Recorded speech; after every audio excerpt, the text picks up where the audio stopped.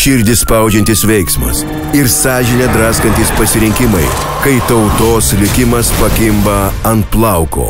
Pilietinis karas. Adrenalino kupinas trileris kino teatruose nuo balandžio 12.